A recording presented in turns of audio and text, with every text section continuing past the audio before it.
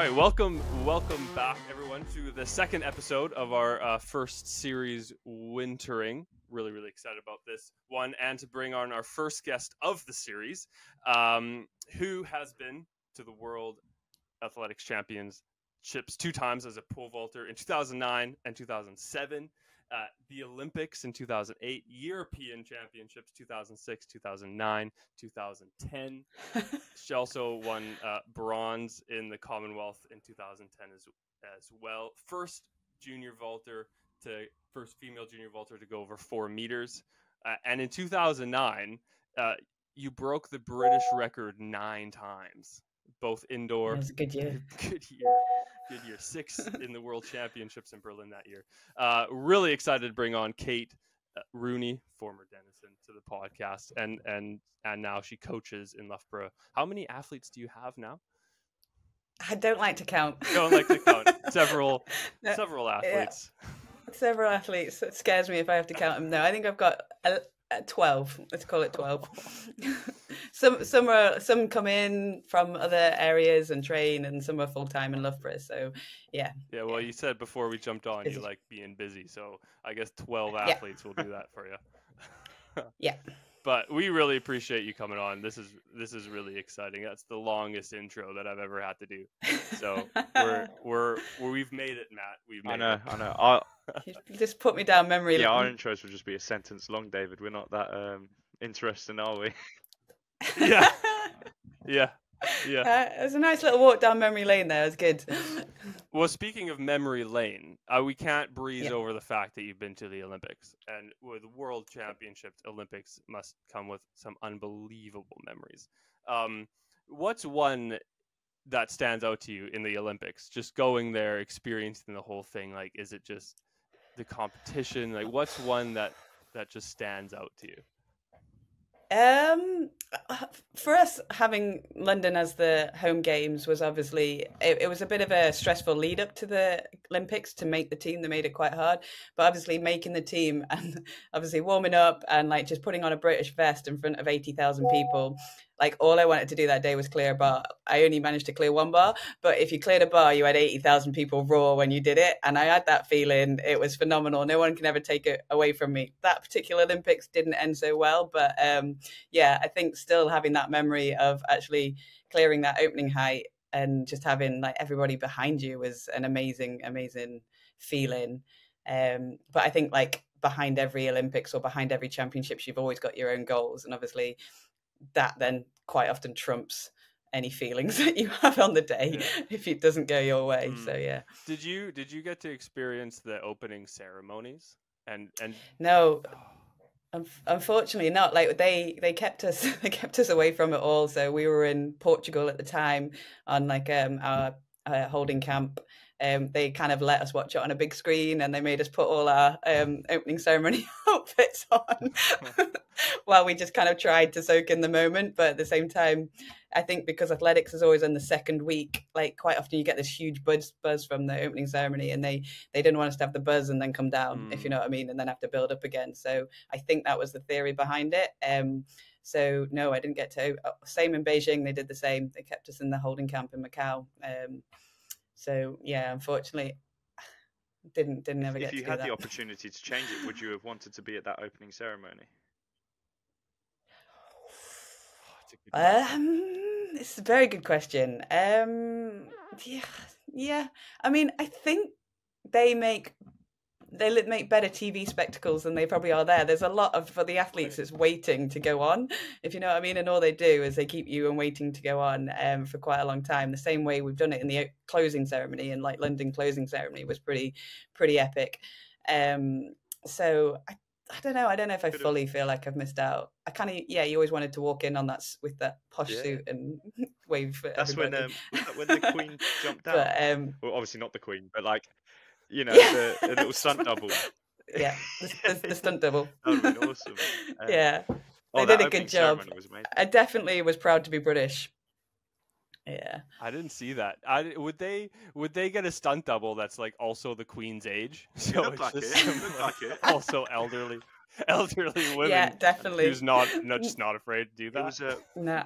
she was like eighty something. It was Rowan just had to go. Atkinson as well, wasn't it? He was there just, um, wasn't he, with the little piano? Yep. Yeah, I, that was one of the best ceremonies I've ever seen. To be fair, Yeah, it was pretty good. it was. It it was very very impressive Uh, to watch from a big screen in Portugal. Portugal's not too bad of a place to be though. yeah. There's worse places you can watch it. no, we got treated. We got treated well. I'm not gonna lie. Um, So, so. I guess I we'll continue this treat this uh, theme of memory lane. Just pole vault is is such a rogue event, and and just how did you get into it? Like, just run us through your career, just very very quickly. How'd you get into it? When did you know that like actually I've got a I've got a chance here to do something special? Um, Yeah. Yeah. I unfortunately my story is pretty standard. I was a failed gymnast, um, and quite often, um, you know, I, I got to a decent level in gymnastics, like national level. Just always had that goal of going to Olympics as a kid, watching the Olympics as a kid. My background was watching the gymnastics rather than athletics, but very sporty family. Um, and then yeah, just kind of went down to the local athletics track, fancied myself as a sprinter, and realised I wasn't quick enough for that either. so then um, somebody said, "Oh, you did gymnastics. Why don't you try pole vault?" Um, and there was uh, another lad, Steve Lewis, who actually went on to be a fantastic pole vaulter as well. So um, he was from the same gymnastics club, and also probably too tall and failed gymnast as well. So both of us ended up in the same pole vault group. He was a couple of years younger than me, but. Um, uh, and I think it's one of those strange things. I think as a gymnast, I was working my butt off, training three hours a day after school. Um, and like six days a week, making sort of maybe top five nationally, which was good. But I don't think I was ever going to take it on to the next step and get into the internationals, get an international um, cap, I suppose, at that stage. Um, and then like in athletics, um, you know, doing pole vault, I think it was only like um, like an England representative schools level. I think they call it SIAB now. But um, I sort of did that within a year and I took to pole vault quite quickly. Like I think I started late at sort of 15, 16, you know, did 320 um, and then 380 in my second year and then four meters in my third year. So as you said, like first junior to British, but like within two to three years. So yeah, I took to it quite easily. Um, I, I stumbled around the four meter block, if you know what I mean, and found a social life and various other obstacles along the way. But um, yeah, I think you then become addicted to success and just fell in love with the event. That's really that that's really cool. I mean, to go on your first year and do 320, I don't know if I could do 320 in 10 years. I've seen you. I've seen you, David. You could do it. I've That seen you doing the pole vault drills. yeah, He's a flying secret drills, pole yeah. drills I can do. Yeah. yeah, yeah, yeah. Just get my tight hamstring and let go. Just shoot me across the gym. You'll be fine. You'll be fine. uh, so, um, yeah, this first series talking about wintering and, and off-season training or winter training, I guess as you would say. Um, as as an athlete, did you did you enjoy that time? Yes, um, I was one of those weird ones that kind of enjoyed the winter grind. Um, my f- sort of coach. I mean, I don't really remember it pre going. I, I did. I went to university um, at at Staffordshire, and then I only moved to Loughborough at twenty one. So I don't think I ever experienced the winter grind before twenty one. Like I was still training sort of two to three times a week when I was a university athlete. Maybe maybe three three to four, but um, I definitely wasn't in this kind of full time program that you have in Loughborough that you're able to access at an 18 year old. Um, so I was 21. I think I was a little bit more ready for it. Although, having said that, my coach that I moved to, Steve Rippon, was he was a big believer in the winter grind. And you know, I've seen you running around doing those those 1k reps, David, but we did that too. So, like for a pole vaulter, I remember starting winter training with like three 1ks or something. Blew my mind, and I was not like I'm like anything over 150, 150 meters is quite far for me. Um, so yeah, I kind of enjoyed the challenge of it though because it was out of my comfort zone. Um, and just getting stronger as well. Like again, I hadn't probably done much of a weights program before 21. I'd done weights, but uh, learned to lift and some of the key um, lifts, but uh, and movement patterns. But I wouldn't have said I had a full um, experience of winter training before 21. Um, so yeah, I think I did enjoy the challenge, and it was just so far different from anything I'd ever done. I'm not sure how relevant it was, but I did enjoy it. So, so what um, sort of w- did wintering mean to you when you first came across it? Was it just I'm just going to get into this sort of like I'm training in the winter, or is it a time where I'm going to recuperate, rehab, uh, rehab any issues, or is it a time where you're just going to, as you said, like put that grind in? Yeah, I mean, at, at 21, um, I hadn't had too many. I think I'd had shin splints, but I hadn't had too many injuries or anything like that. So I think for Steve, it was turning me into an athlete. I was very raw still. Like I jumped four meters, but not from having a big physical background and i think his belief was let's turn them into athletes first and then we can work more on technical. And and he don't get me wrong he was phenomenal technical coach. First thing he did you know st- i was on a longer run up on longer poles. He brought me back down into shorter run ups and shorter pro, uh, poles so he taught me how to pole vault. Um, but yeah it was in the midst of um, some very heavy physical training which um, again i feel like i got away with by being a little bit older um, rather than some of the youngsters that sometimes came in, they might not have been able to handle what was thrown at them.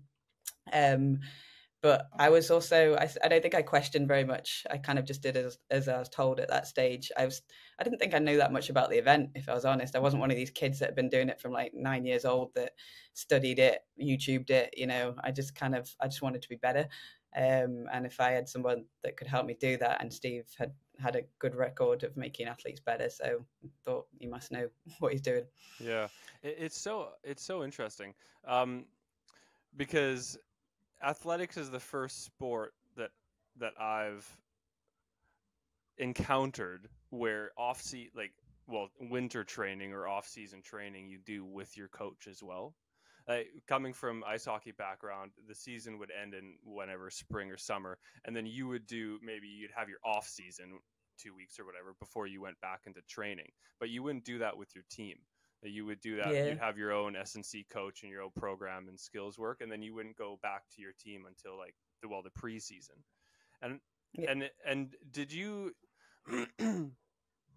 I guess I, am not sure how gymnastics works, but did you did you find that strange as well, or did you quite like that having that off like that off off season of doing nothing and getting right back with the coach? Did you have a yeah. different experience where it wasn't like that before? Yeah, gymnastics, I had no idea. We just seemed to train hard all year round, and there seemed to be competitions that popped up, and you did them. I didn't feel like there was ever a process, and so yeah, coming to athletics, um, where you had like you know the summer season, then you'd go to winter, then you you're looking for a pole vault, and uh, you'd have an indoor season as well, um, and then you'd do a little bit more of a a re well we called it spring prep, I suppose, um, which would not be go quite as deep as the off season. Um, I, I, don't I don't know if I really overthought it that much at that stage again. Um, like it was obviously for us, it's a chance to make technical changes as well. Um, and so like you go on work on short runs and there's a lot more process involved that I'd ever had before. Um, and so, yeah, I, I just kind of went along with the flow of it. Um, it was very tiring, as I said. The program was huge. It was a very high volume program, and I think with Steve, he often had new ideas, and new ideas would come into the program, but nothing ever came out.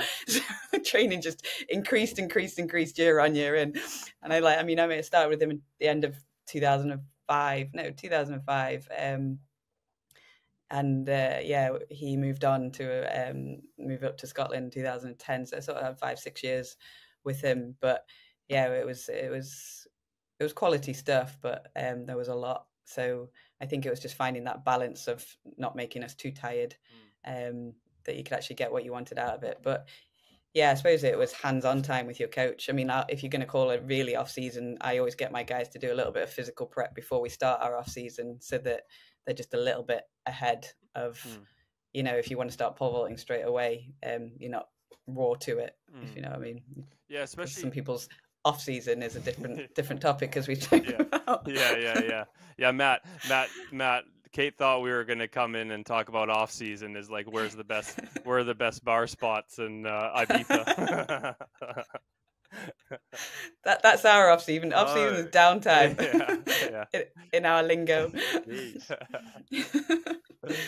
so that's funny. So yeah, but yeah. Go go ahead. Go ahead, Matt. I think you had something to say there. Oh, he's gone. Oh, we lost him. Oh well, he'll come back. I'll say something. I'll say something. Fill the time, but uh, until he comes back. Um, so do you think, as a coach now, because you went through being an athlete and now as a coach, that uh, your off season or how you kind of approach, I guess, coaching as a whole, but off off season or wintering specifically, uh, was was influenced by your coach or by your experiences as an athlete? And can can you see that um, in how you approach wintering with your athletes? Yeah, hundred percent. So, like, I mean, my first coach Steve Rippon took me from four meters to 460 so i believed what he did was correct. So when i first started coaching uh, in 2013 i kind of replicated what he did because thought right that's worked for me let's do that. And i think a lot of coaches start out their journey replicating when they've come from being a decent level athlete they replicate what they um, they did.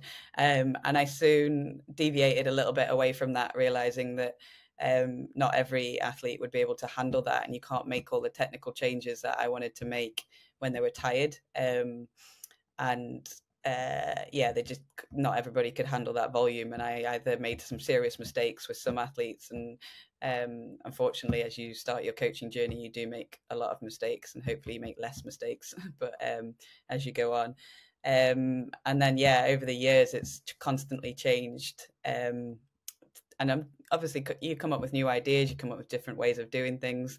And um, for me, it's just finding that balance between, you know, I, I want the athletes that I coach to have a long career. So I believe that in an element of a base. Um, so I do think there's got to be some grind, and some of that grind sometimes can um, make the the the pole vaulting and the technical changes that we've set up harder. Um, but then at the same time, it's like finding what's relevant to actually being a pole vaulter, and obviously, like there's a there's a limit to how hard you can train and make physical and make sorry technical changes so um yeah it's constantly a balancing act like um this year i've played with some different ideas and they've worked really well and i feel like this year has been one of my the best year so far. I mean, we're only in week eight; we've got another four weeks to go. But finding a good balance between making the technical changes um, and still getting a bit of graft. Um, but yeah, it's it's constantly evolving, and then obviously the longer you work with an athlete, the more you know about that athlete, and it's going to be slightly different for every athlete. Um, and at the moment, one of the athletes I've worked with lo- like the most has been Ellie McCartney, um, who came to me just post lockdown, like, um, and just watching her, and obviously the the physical prep has changed over the last few years, but actually seeing the results this year that she's become a lot physically better um, is really interesting and it's taking less out of her. So that graft work where we still manage to make changes and improve, but maybe not as many technical changes is now paying off now that she's just got a better level of base. So when she comes back to me this year in her third year or fourth year, I don't even know how long, but um, then, you know, like we can put quite a lot of more specific work for her on top of that. Um, so it's been quite exciting. And uh, yeah, following on what you said about that balance between technical and actually working on physical attributes, one thing I noticed was um, watching that Untold Stories Swamp Kings, I thought, or something like that, with the Florida um, football team. And you got there's a clip of Tim Tebow and a bunch of those other American football lads in the gym just pumping, uh, like doing I don't know 50 reps on bicep curls and you know trying to get massive. And in the end, like you also mentioned, the longevity factor is those players won the you know they'll win all these games or they'll possibly win the season but you look at those players the next season and they're all spent. It's like they were just trained for that one yeah. season and then the rest was like we'll see how they get on next season but their bodies are total. They've had no rest. So yeah it's just it's just that hard balancing act. And i mean now now you're coaching are there i mean you, you just mentioned some points there really about like how the different considerations you've had in terms of like as you were an athlete and now being a coach what you've had to understand yourself. Um, yeah, just what was the hardest part of wintering? Was it the mental side of things as well? Because I remember you mentioning that some of those athletes, the younger ones, wouldn't be able to cope as well as you did in a way. Yeah, um, definitely. The mental side is tough. Like the winter grind is usually roughly around 12 weeks. It's 12 weeks generally without a competition, without a um, you know something to take you out of that grind we don't tend to go warm weather training or anything like that in that 12 weeks so you know it's the same four walls week in week out yes we might microcycle and have recovery weeks and download weeks in that time, but um, it can be draining. And then, like I've always said to the guys, like this time around, that that middle prep now that we're in is where like this, we're still making some, we're trying to make technical changes on longer runs, which is harder to do. And I'm just finishing off the last bit of the physical. So sometimes there's a little bit of a dip in quality, but like coming out of this, like hopefully some of the volume will drop in the next prep um, as we prep for the competition season. Mm. Um, and I think I think that can get pretty pretty tough tr- pretty mentally draining when you have a bit of a down like the girls specifically like they are perfectionists they want amazing sessions week in week out and i can see their pain when a pole vault session doesn't go 100% mm. or exactly the way that we had planned it um, and it's like just trying to teach them as well that you know this this one pole vault session doesn't define the winter training or it doesn't define the season if you know what i mean um, and even having a little dip mm. um, is is important to go through them and like you know we have them if you know what i mean. It's what makes us stronger if you know what i mean. If it all goes perfectly and if it was all easy everybody would do it if you know what i mean. So the mental toughness side of it as well as the physical of actually feeling tired and turning up to training and doing everything that you can to make yourself feel good for those technical sessions um, the sacrifices you make um, yeah finding the balance between social life and and having a life outside of it like i i often talk about the different components in your life like if your education's going well your friendship groups might be going well family you know it's there's always other things in your life that you have to make sure is happening around and it's not just pole vault focused like it is just pole vault. Hmm. Yeah. And just just sort of going on a broader scale did you notice that obviously going into winter, did you know there was different changes in your training, or you know, I, I, did you notice any differences during those sort of winter months, essentially, as a coach and as an, as an athlete from both perspectives? Like, I remember in rugby, I was like, okay, we're going into winter now. We've got a bit of a break in the season. Um, but leading up to it, you sort of lowering the reps because you know it's going to be tougher. The weather's going to be harder. The the ground's going to be muddier, so you're more prone to injuries. We could see the load going down in the gym. Just to manage that, I was wondering if you have, you know, either changed programming as a coach or experienced that change in programming as an athlete. Yeah, I mean, as an athlete, um, it, yeah, there was definitely like physical changes as well. So, like, as you might be in a different phase, you might be a little bit slower and heavier. So, like, I used to be able to put on a bit of mass um, in my winter training. I remember going through that phase, going, "Oh, I feel heavy," um, but it was again just a phase, like um, that I had to go through, and like I then learned to have like a winter training weight and a, a, com- a competition weight, um, and then yeah, constantly adapting, like run sessions that you like if you do have to do them outside if it's going to be cold and wet you're not going to get the same out of it. Do you need to adapt that session actually and bring it inside or do you stick to the program? I think quite often as coaches we get stuck stuck in i've written the program you need to see it. And the athletes the same. If they've seen the program they need to tick every box on that program in order to get through. I'm like actually guys i'm going to cut the session short today. You look tired. I mean? And they're like whoa. If you know what i mean? They don't like it. Um and, Not before uh, the thousand meter reps, though. Those got to stay. they they are the most important. um, so yeah, making judgment calls is really important. Like I can write a program on paper, but seeing it like map out, I have to be able to adapt to it. Um, and I've learned that a hell of a lot more as a coach than I probably did as an athlete. Again, I was probably the same athlete as the ones I coach, and I wanted to complete every part of the program. Otherwise, I felt like I was cheating in some way. Um, whereas like learning to train smart rather than hard is a, they're two different lessons to learn. Hmm. Uh, you mentioned there like lots of t- lots of changes come going into winter and and or you know your pole vault then kind of takes a hit because you're working either on different aspects or you're just the buildup of fatigue because you're going hard in the gym. Um, yeah. And I was talking to some other some other coaches in, like in the endurance group who struggle whose athletes sometimes can struggle with like kind of comparing themselves to where they were in the summer.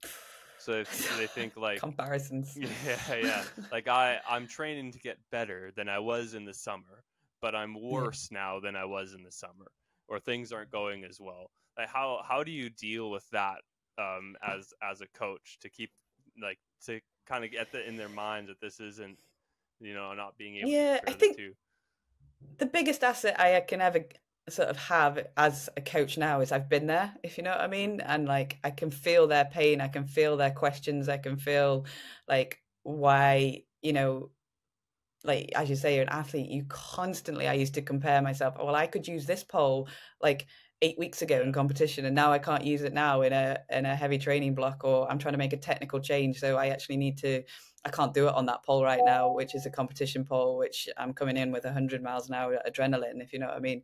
Um, so I think, yeah, I mean, it's just it's just learning as an athlete and a coach that you have to accept where you are and like and if the numbers are constantly going down then you're worrying but they're stabilizing that's fine like um if you're making changes you know sometimes you have to go backwards to go forwards if you know what i mean. Sometimes you have to be a bit more disciplined and stay a little bit longer on that shorter run up while you still make like if the change isn't quite ingrained. And it's it's different obviously coaching different levels of athletes because like um some athletes it's just about a process to get them from a to b whereas um that process definitely more with elite athletes is not such a straight line. Yeah. Yeah it's just so interesting because uh, like the athletics the more i'm getting into athletics the the crazier it is. And that mm. off season is so short. Like you said 12 weeks but you got christmas at the end of that and that's 12 weeks if you only take you know two weeks off. And then you got the indoor season and then that kind of weird in between indoor and outdoor. Like if if we talked about that section where you have kind of what between three and six weeks is it? Between kind of indoor and outdoor what, what... Yeah, I mean that section is like you don't need to go as deep. I don't think, if you know what I mean. You need to kind of just top up, especially with the girls. Girls can learn; they could um, lose a little bit more strength than the lads, if you know what I mean, in the competition season. The lucky thing for the competition season indoors, it's again only about six weeks normally, six to, six to eight weeks maximum. Um, so you know, if you've programmed right, you should easily see yourself through that by and being able to um, back off a little bit physically during that time. But then, yeah, it's a bit of a top up season. Um, obviously the winter, the summer season can be very, very long, mm. if you know what I mean. And so, like the the better level athlete you are, the later you're probably open. And so, like you know, the um, depending on the calendar, but normally like the major championships is you know either end of July, beginning of August, sometimes even late August. So you're going to plan your season around that. So that will then determine how long your spring prep is. But you know, I like to get a nine week physical block in, so three three week blocks. Mm. So we kind of do uh, four week blocks in the winter and three week blocks in the summer, and you know they're going to get become general prep to specific prep to more specific prep, if you know what I mean. Mm. Um, so yeah, you're right. That that time is short, but I just feel like with that one, quite often we go warm weather training. You know, it's broken up. Like as you say, that 12 weeks of winter training is short, but there's nothing else in it. train, train, train. Yeah, yeah. And you know, like again, the more serious you take it, like we would. I used to go home for two days at Christmas, mm. um, and then I'd be back in on Boxing Day or the day after 27th. I, I was nuts. Me and Steve Lewis, we were both. He was from Stoke. I was a bit further north, and we used to travel home the same day and be back two or three days later, petrified. Obviously, we had an amazing setup in Loughborough, if you know what I mean. And I was, I'd take Christmas Day off if you want. The amount of athletes that train on Christmas Day, I trained on Christmas Day. Why? Go spend it with your families. um, but because the indoor season was looming, right. if you know what I mean, yeah. and we'd quite often start, um, and I, I believe in taking like if you take a week off now it's it, like not even you can do some basic training in that week i think it's good for the mind mm. you actually get to switch off for more than two days and maybe that's where i went wrong sometimes mm. but um not learning to switch off but and how yeah. how do you so like goal setting is obviously really important and they're like you have different goals for different areas of either training or the season how do you balance well f- first of all how do you come and deal with different athletes who are coming from different seasons. Some are coming, you know, from terrible seasons and are really low motivated. Some are coming from unreal seasons or coming kind of off of a season high. How do you how do you balance that and then go? These are our short term goals into the winter, and then these yeah. are our long term goals for the season. Um, and for one, not getting carried away with it with you know someone who's had an amazing season, and the other side yeah. like someone who's dreading 12 weeks of training because their season's just been trash. Yeah. yeah it's it's tough and again like i've only been full-time for like this is my second year in it full-time and i feel like i'm doing a better job this year first year i think i spent too much time watching sessions that i didn't need to watch whereas now i'm spending a lot more time planning so you know i try and do a review with every athlete um, at the end of the season um, where we sit down and make all those goals but now this year i've been doing a better job of actually checking in with the athletes at, at least monthly, if you know what I mean, mm. um, which is something I think we forget to do sometimes. Like you sit down, you do this big review, what went well, what didn't, how we're going to get to the next steps. You plan it all out and you look at it in a year's time. Did we do it? It's a bit late. Yeah, yeah, yeah. or sometimes I do a bit of a review after indoor season when we plan for the summer, but again, too late. So I'm trying to do a better review of actually, you know, um, sitting down with the athletes. Um, you know how are we doing? Are we on track for where we want to be? Um as you say are there little goals that we need to hit? Some athletes like goals some athletes don't.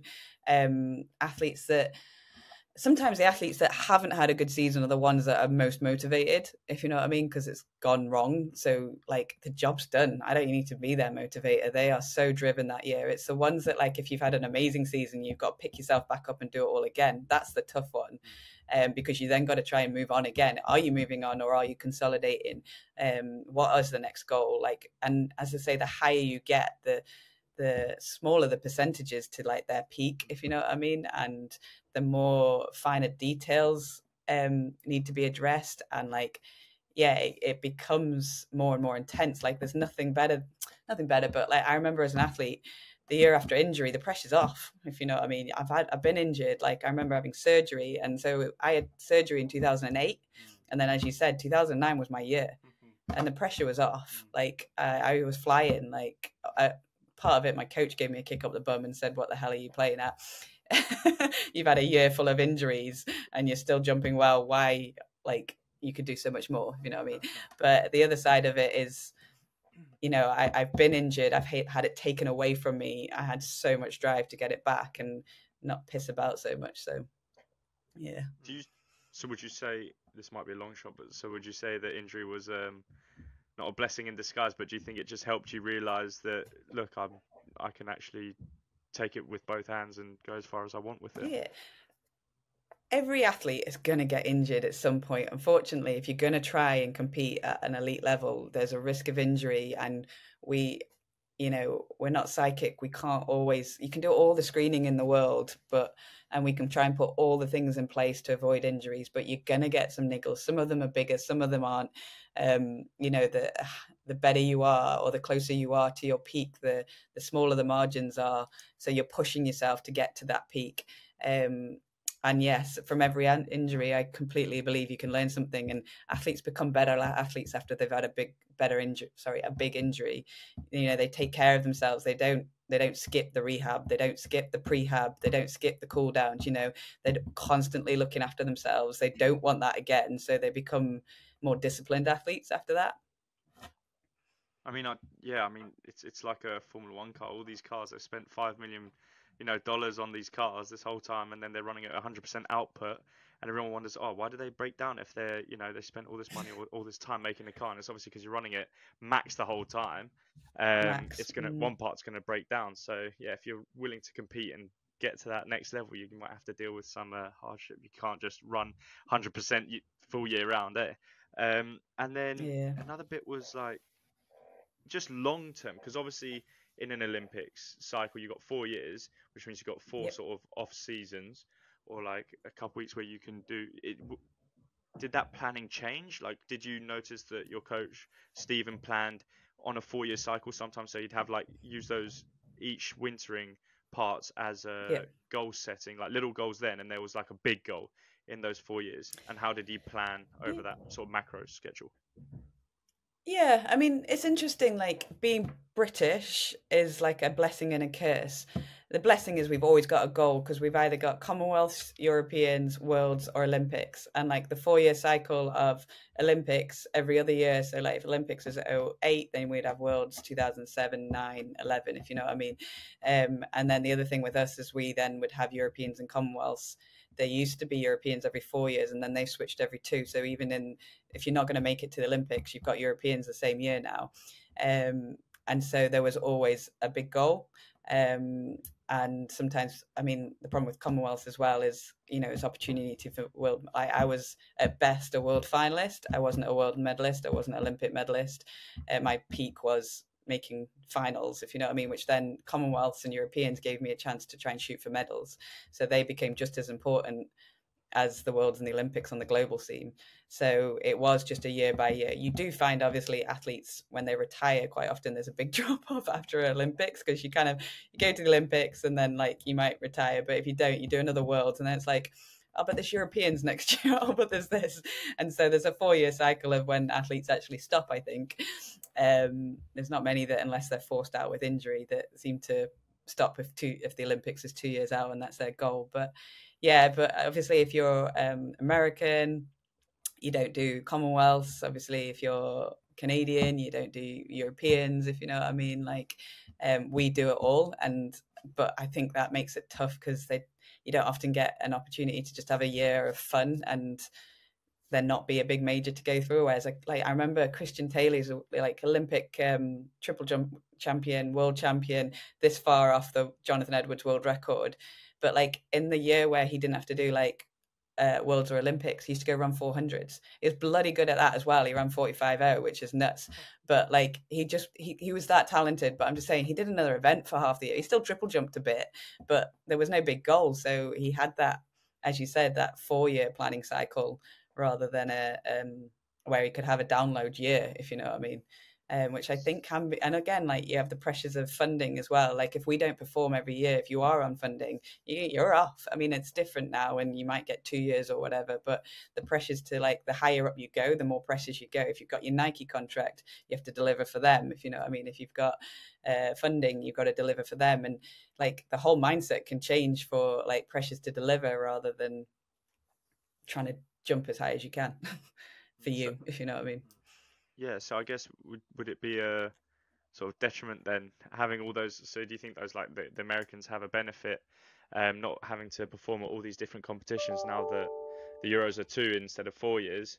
Um, do you see that as yeah more more than a, a curse than a benefit, or I think it's a benefit for them. Um, like it was interesting, obviously, with all the COVID and then all the championships got skew whiffed, and then all of a sudden, as a Brit, you had Europeans, Commonwealths, and Worlds in a year, and everyone was like, "Oh, which ones are you doing?" And then a bunch went for all three and still performed. It was absolutely crazy. I don't know what at what cost the following year, if you know what I mean, but they managed to get through it. Quite often, you had someone who went to the Worlds, flopped, and then came out the Europeans and performed. So um, but yeah, as you said, um, the Americans only had one that year, and they could just target it. I mean, it's kind of shit or bust, but yeah. I guess I guess as an S&C coach, um, you see it as a point of like they just you just have to make sure they peak at that one point.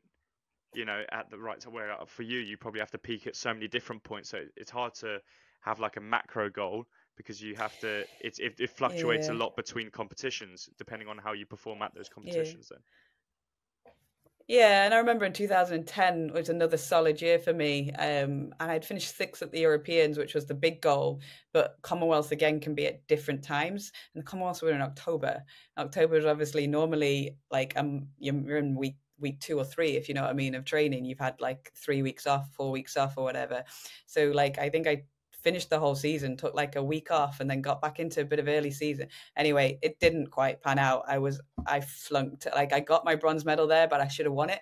Um, and it was just we couldn't quite get it right. Um, and I don't know how many athletes did get it right. Quite often, the athletes that didn't perform so well at Europeans then did better at commies. You know, so planning can be crazy. Normally, I'd say, you know, you plan for your majors. If you're under 23 level, it's probably in July. That's where you're going to try and peak. Normally, for the seniors, it's August. And we kind of got to have that double peak because you've got to make the team. But again, we're not Americans. So the blessing is the Americans have to try and make the team at the end of June and then perform again um, in August or whatever it is. Whereas generally, and other than the distance and some of the sprint events, we've not got more than three per event. So, yeah. So so me mentioning the the third place in the Commonwealths right off the top that was a, that she we almost lost her right at the beginning 30 seconds in. I'm out of here don't need that. Yeah no that was a it was a, I mean I was grateful for the medal like I nearly completely flunked it.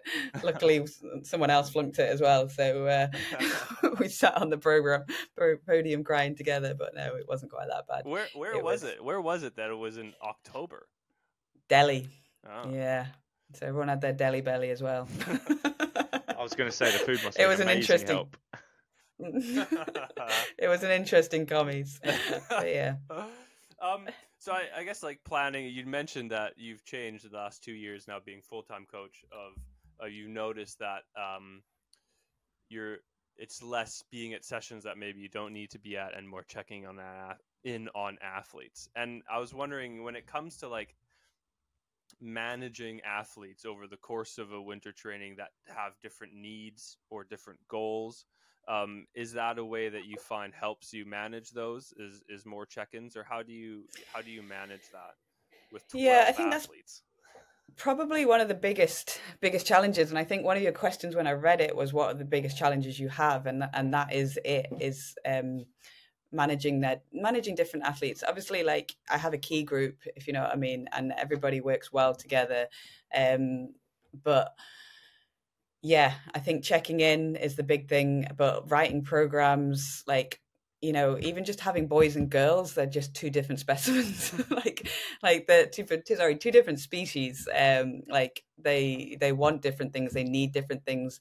Obviously i am quite tuned into the psyche of female athletes and I get the emotional side of it. I get I get their thoughts, their feelings. It's just natural. And obviously as a coach, um, I first started coaching guys straight away um, when I first started coaching and, and I didn't maybe I just didn't take it as seriously then, but I don't remember having some of the challenges I have now with a group of boys and you know they're they are motivated by different things they're very number driven they're very this driven um, and so it's sort of still learning to tap into their psyche um, and what makes them tick and finding a good balance like they need a, a, a, sort of high upbeat training group whereas some of the girls like you know tilly can just grind it out she wants to be part of a group but she can still grind it out like on her own if you know what i mean mm. some of them have a better some of the girls have, are better at that and just getting on with it and mm. you know they've got their goal in their head um but yeah, it, I think checking in is the most important. Me checking in on their goals,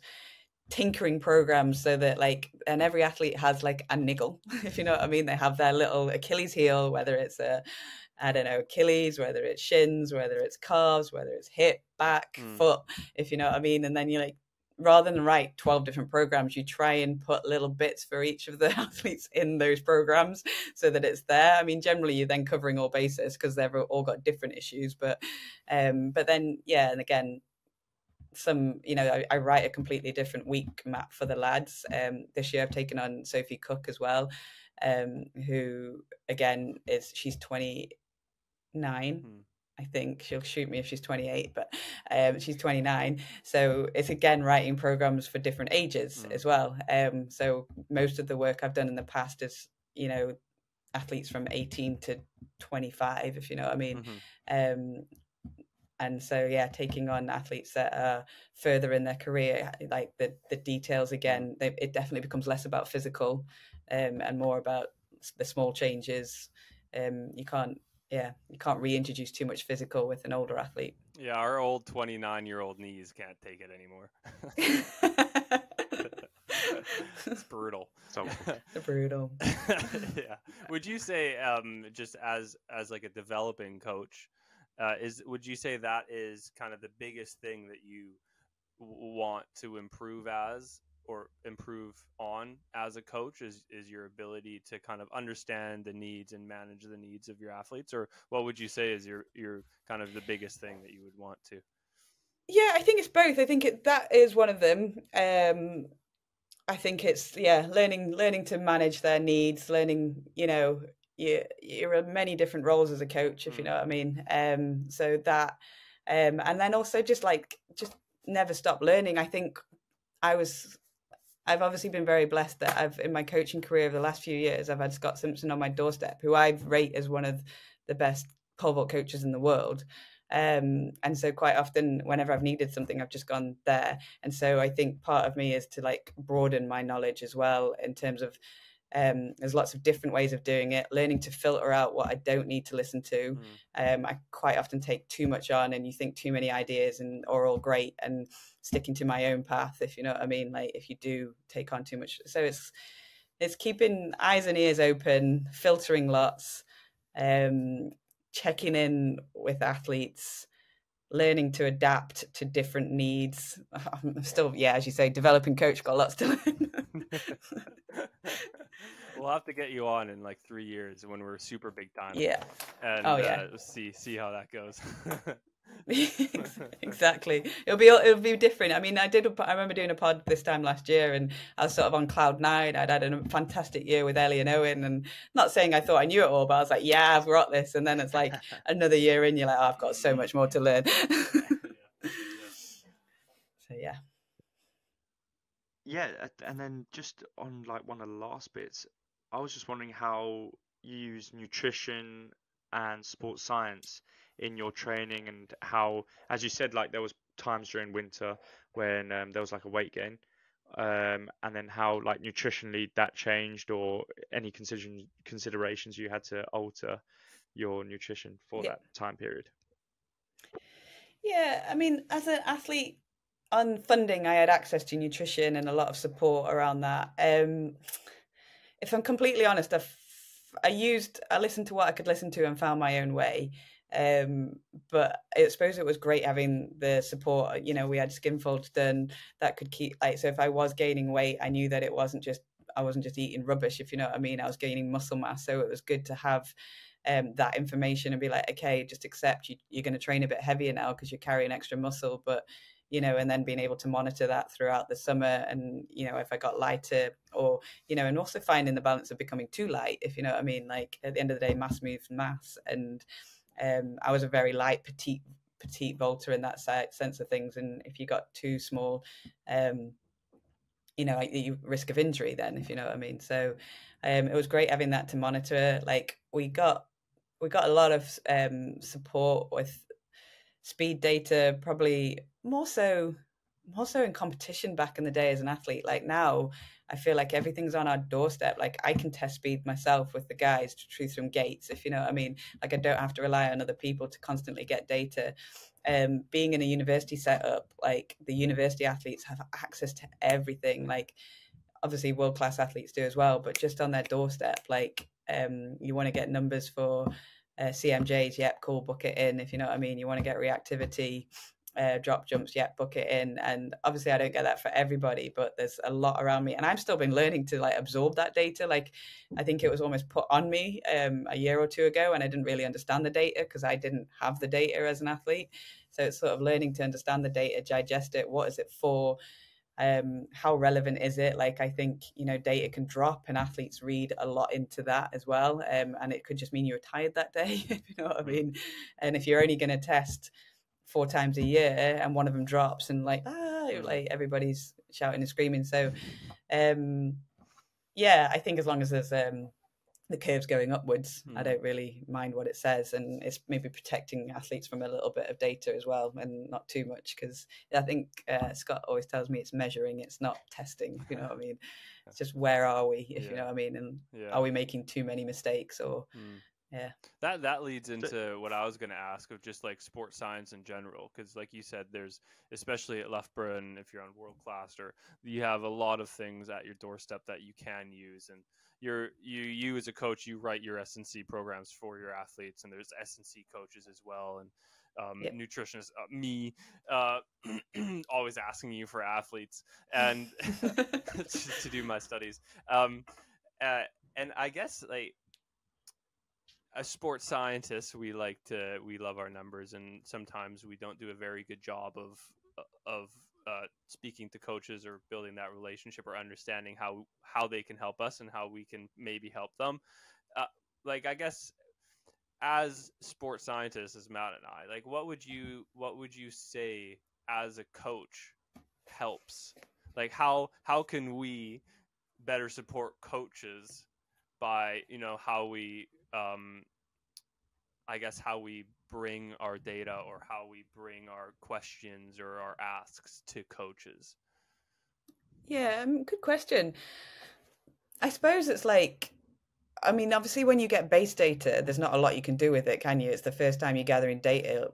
All you can do is report it. Um, I think quite often I was probably everyone I think probably assumed I knew what it was, um, and maybe I was too afraid to ask. This was a couple of years ago, um, and I thought, uh, you know, as a developing coach, I should know everybody's getting data, if you know what I mean. So maybe it's the element of um, like not presuming, if you know what I mean. So like talking through what it means. Like again, obviously, if you it's it's a conversation and obviously i know not everybody has time and this is sometimes why i sometimes get frustrated is i'm a people person so i like to get to know the person who's collecting the data and then we can constantly bounce ideas off each other and it's and it's an open dialogue and i think often everybody's busy like that's the downfall of Loughborough they look after so many people so you get your data here it is green red or blue i mean green red or orange or whatever um and uh yeah and and then yeah, you need to be more explosive or you need to be this, this, and this. And I think like, well, okay, let's have the conversation. So this is base state data, if you know what I mean. Um, the athletes have done nothing for two weeks. So is this okay actually? Like this is the I've only got one other data point from May last year. This is a little bit lower. What do you think? Or, mm. you know, is that is that looking actually there's a massive imbalance there? Like actually just being able to talk through it, I think rather than just seeing and reading and mm. digesting it. Because again, you guys are so busy, lots of people to give the data to, but we're so busy like reading through everybody's data. You know, I collected data from England Athletics this this weekend, and it was great data, but I haven't had a chance to scrutinize everybody, if you know what I mean, um, and see if there's any anomalies, if you know what I mean, and just saying like, oh, there's a little alarm bell there, if you know what I mean, and mm. actually then there's a big imbalance between left and right, that kind of thing. Um, so, so I would say that's it. It's more like that that conversation. I think as as like academics, we can be very bad at at just like being in our own head and just spitting stuff out and not, yeah. you know, because we're like, oh yeah, everyone knows this, boom, you know, and just yeah. and we, you know, we've been staring at it for months and months. So for us, it's just second nature. But like you said, yeah. like yeah, we're busy, but also, you know, if we want to if we want to generate those relationships long term, taking that like the time to make sure that they understand it or like... and and that's it for us. It's the long term, and I get so frustrated in athletics as the turnover. Mm. Like when I first started and I started working at S&C, I think it was Nathan brought up brought up a massive rapport with him, and then like he got promoted. Yeah, just like and then it was somebody else, and then you're trying to learn to do like connect with someone else and they they're learning their job and i think quite often when people come into our field of athletics it's like oh my goodness, this isn't one sport. This is like 16 sports in one. Yeah. You know what I mean? They all want different stuff. They all do it differently. Every coach doesn't talk to another coach. Like, yeah. you know, there's three, four different jumps coaches in, in Loughborough. You know what I mean? We don't all connect. you know what I mean? Um, and then you guys are just dealing with it separately. And athletics is a minefield in itself. If you know what I mean? As you say, like endurance is so far away from jumps. Jumps is so far away from, you know, throws, if you know what I mean. So, hmm. yeah. yeah. Yeah, no, it is. I it's insane. Like, because I don't come from an athletics background, and getting into it over the last year, it's just how do you do it? Like, forget about forget about just your athletes. Then it's like yeah. you said, different coaches in the same event, and then and then you know, but and then endurance has how many events in it? It's it's yeah. insane. Yeah, it is insane. Yeah. Well, we Completely. we really really appreciate you coming on. Um, yeah, this this has been awesome. We have one more thing with Matt, which is quick fire questions, which we always oh, do. God, no. So they can. they, they, Matt loves throwing curveballs. I wish. Oh, exactly. It's so, but it's fun. It's fun, and I'm just glad it's not me because he really hits me taking the questions. No. But, okay. But yeah, this is the last thing. But but before we do that, we just really wanted to thank you for your time. It's been unbelievable. Yeah, thank you. Um, yeah. Thank you for having me. It's been great. Matt, take it away. Uh, um, yeah, as David said, these are just some quick fire ones, but I remember last time just throwing in some deep, deep uh, questions as well. So yeah, yeah I don't know what will come I'm up. But, um... I'm so nervous right now. My heart's going. um, did Did you have any nicknames? Or do no, I was Deno. I was Deno, Deno. which is so weird because like I've been in love for so long, some people still call me Deno, so Scott will Uh-huh. still call me Deno from being Kate Dennison, and then like my Yeah. athletes only know me as Kate Rooney, and they're like, "What?" That? So yeah, Deno. There you go. What's the main or one thing you missed from when you were competing? Just the adrenaline and the buzz. Um, I don't miss it, as in like I don't want to ever. I'm, I don't miss competing. I, I probably live a lot through my athletes at the moment, but um, yeah, just just that adrenaline, that challenge, that nerves. Like I can't believe I miss nerves, if you know what I mean. Mm. So yeah, Yeah. Mhm. Um, what item is worth spending money on? don't talk to me about that. I have a, a trainer fetish. But I, I buy junior trainers. So in girl maths, I never spend more than fifty pounds for a pair of I've trainers, trainers. to be I've fair, heard are that. are on point. I told Yeah. I was I was speaking to Tilly yesterday like the other day. I was like, "Do you see do you see Kate's trainers?" today?" She's like, I actually think they're the ones you're wearing this morning, like the Nike yeah, the Nike I, ones. I love them, and but I, I buy the junior range, so um, I got small count. feet, which means that I can buy Oh, crap. three when instead of one. Ah, So yeah, see, I'm- that's Come in with six boxes. You're like Black Friday Junior. I got that a lot. Um, basically, when my son's finally my pair. size f- feet, he's on he's on point. yeah. um, sum up being an athlete in a sentence or a word. Oh my goodness. Um being an athlete. This is why we gotta Uh, leave five minutes for quick fire questions. Yeah, this is tough. I think they're all a little bit crazy. They're Um, all a little bit crazy. A little bit cuckoo. Best athletes are usually a little bit crazy. That's funny. And then, how did you cope through the tough times? Like any advice, or just like how did you cope through those tough times during? I don't know if I did. No. um, I think I think it's about balance, and I, I've always said this. Like, I think the one thing that got th- me through when I was going tough in athletics, you know, like I- either my relationship might be going well, or you know, I've got something else going on other than athletics. It's not to be um so focused like have family around you have friends around you you know have people outside of sport that you can turn to or like don't really get it and Mm. so like they're like why are you so upset you had a bad day i mean they don't they don't get it and they bring you back down so yeah I Mm. still have that now when I like if it's, it's been a bit of a rubbish week at the track or whatever, or a rubbish day, and everyone's flopped a bit because they're tired, and then you just go meet your mates, and they're like, "Okay." That's all good. Yeah, it just helps you um, bring any bring everything back to perspective. Because yeah, I'll say like I remember losing um like it was a pretty important rugby game. I wasn't playing, but as a as a coach, just seeing the boys lose, and I was gutted. Went out with my friends who who've been in London, you know, business the whole time, um, at like a normal job, and yeah, I was just like gutted, and they were like, like, and I swear you got a game next week. I was like, yeah, that is true. Yeah. And then it's like, oh, true, fair enough. I and then it's like, try- yeah. Yeah, I think I try and have this physical thing that like I it's easier in the winter, but I get to the track, I try and hang my coat up and leave family life at home, and then like when I leave the track, you know, you hang you hang your coat up again, and you try and shut the door on the, the Mm. track as well. So try not to bring it all home with you. Oh, That's very really good. What what a great little quote to end off. Holy smokes. That's incredible. That's a good one. yeah. Kate, we really, really appreciate uh appreciate your time again. And and if it if we ever get around to it, we'll have to get Matt up and you'll have to see if we can get get over. Can't three wait. I need to get the two of you pole vault in. Yeah. It's gonna be amazing. I- Yeah. I don't think you've got pole vaults that will handle what I'm gonna bring. Yeah, I'm, I'm sure. be- I'm sure we have. You, we'll go grab a pool noodle. We'll go grab a pool Yeah. noodle. I'm be- We'll start with that. I'm just gonna be perfectly balanced, stuck on the top like this, guys, just perfectly aligned. help me! That's just can't full, wait. just full, the wait. opposite way. or the wrong way. Yeah. Track landing. Uh, thanks, Brilliant. Kate. Have a great thank you rest very of much. your evening. Thank you so much. Thank you very much, guys. Cheers. Bye bye.